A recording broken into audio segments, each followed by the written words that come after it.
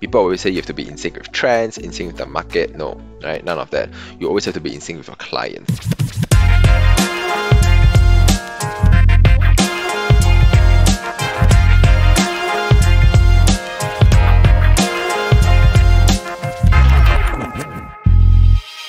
We mentioned about product. Uh, I believe uh, we have similar passion in product development and management. So, you know, for platforms like Calibrate, right? We have uh, two sides, right? Uh, the wellness experts as well as consumers coming in.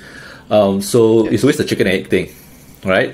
Um, And and how do you balance that, or do, how do you get the first, you know, fifty or one hundred uh, users or uh, experts in? Uh, thank you for that question. It's always tackling one side of the egg first or the chicken, whichever comes into your perspective. So we actually tackled the um, vendors first. Uh, we gave them a compelling offer that they cannot reject. Uh, literally, uh, paying marketing only when it works. Otherwise, it's just free marketing for you to be listed on the website. So that means SEO, uh, good SEO for the, comp- the them as well. Uh, so we tackle that to a good size. I think today we have um, 30 to 40 uh, practitioners with us, and we're looking to expand more. So that is the part whereby we try to get more people. At the start, we were used to door knock people. That one, my God, that one's really tiring. We go from door to door, we would drive around in our dad's car, and um, that was difficult. Uh, but after that, uh, we found an automation tool online that help us to send emails out on an automation basis so that we can just find emails, spend our time finding emails and let the tool do the job for us. Um, then eventually we'll just pull them to do an qualitative interview to see whether they check all the boxes in terms of security, safety and reputation.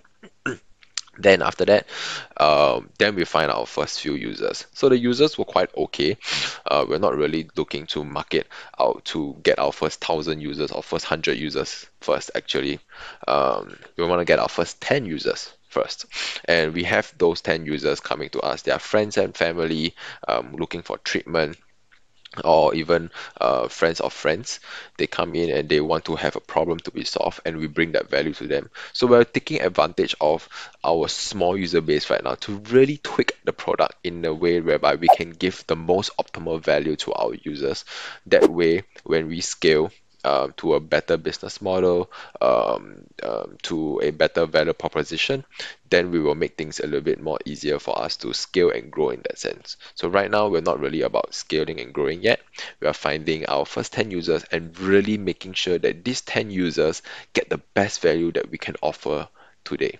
Nice. Again, uh, bringing it back to the parenting topic, right? It's like you know having this little infants, making sure that the infant and or the toddler is getting the right nutrition yeah. and vitamins, right? Uh, that he or she uh, could have, so that he could grow healthily, right, and to skill up, uh, like how the company is doing. Awesome. Um, yeah. So I think product management uh, is about solving problems as well as seizing opportunities, right? Uh, so that the product uh, goes the right direction. So how do you know that you are solving the right problems and seizing the right opportunities? So we have to be in sync with our users every day. People always say you have to be in sync with trends, in sync with the market. No, right? None of that. You always have to be in sync with your clients. So how we do that is we talk to clients at least one every day without fail. We will get onto call with them and we'll just talk to them. Even if I don't have one scheduled, I'll just ring the phone up to one of my friends say, hey, um, how's your shoulder pain that you were receiving uh, that you had uh, a few weeks ago? Is everything okay now?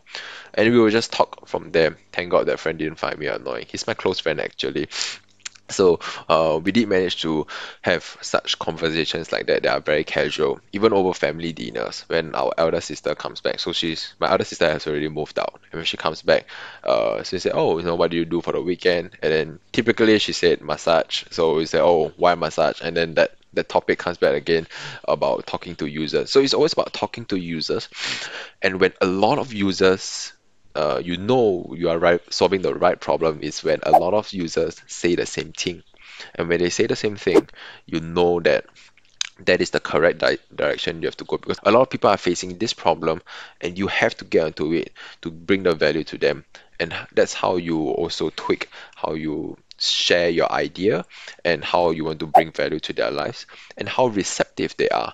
And if they are not receptive, is it a value proposition that is an issue or is it the way they are speaking? Or is it just me as a person, right? you never know.